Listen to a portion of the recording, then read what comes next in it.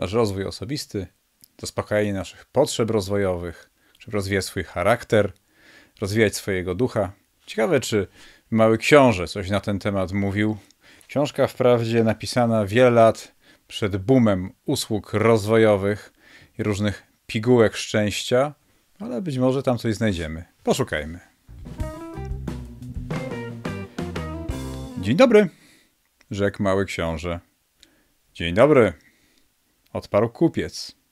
Kupiec ten sprzedawał udoskonalone pigułki zaspokajające pragnienie. Połknięcie jednej na tydzień wystarcza, aby nie chciało się pić. Po co to sprzedajesz?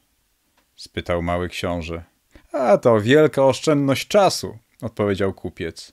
Zostało to obliczone przez specjalistów. Tygodniowo oszczędza się 53 minuty.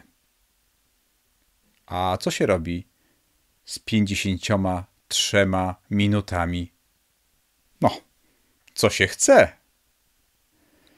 Gdybym miał 53 minuty czasu, powiedział sobie mały książę, poszedłbym w kierunku studni.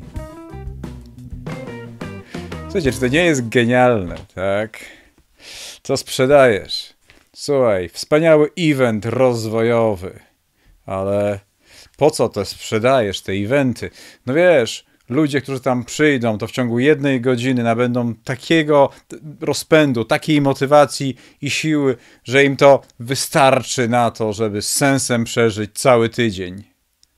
Ale po co mają w ciągu godziny takiego rozpędu nabierać? No, żeby nie musieli tracić czasu na jakieś medytacje, modlitwy, książki, pracę nad charakterem.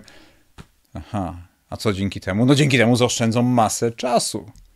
Tak, gdybym miał czas, to bym go poświęcił na rozwój osobisty, można by tak powiedzieć. Nie, nie, nie nabijam się tutaj z eventów, z showmenów i z tych inspiracji, które mają ludziom życie zmienić. Spotkania inspiracyjne są ważne, bo pozwalają spojrzeć na życie z innej perspektywy, podjąć decyzję rozwojową, ale potem w pocie czoła wykuwać zmianę, wykuwać tą decyzję, którą podjąłem na takim wydarzeniu inspiracyjnym. Ale często jak słyszę zaproszenia na różne wydarzenia, które w ciągu jednej godziny odmienią ci życie, to tak jakbym słyszał tego kupca, który sprzedaje udoskonalone pigułki zaspokajające pragnienie. Tak? pragnienie. Pragnienie jest tym głosem wewnętrznym, który nas wzywa do wędrówki do studni. Dojść do studni, czerpać z tego oryginalnego źródła, a nie łyknąć pigułkę i nawet nie wiedzieć, jak smakuje woda. Jak smakuje może nie tyle woda ze studni, to ta wędrówka do studni, już samo dojście do studni, to jest to zwieńczenie. Jak to ktoś powiedział, to nie chodzi o to, gdzie dojdziesz, tylko jak będziesz pielgrzymować. To myślę, że w dużej mierze Mały Książę nam mówi właśnie w tym króciutkim rozdziale, gdzie spotkał kupca, który sprzedawał udoskonalone pigułki zaspokajające pragnienie. Także jak ci się uda wygospodarować 53 minuty w tygodniu, zachęcam cię do wędrówki do studni.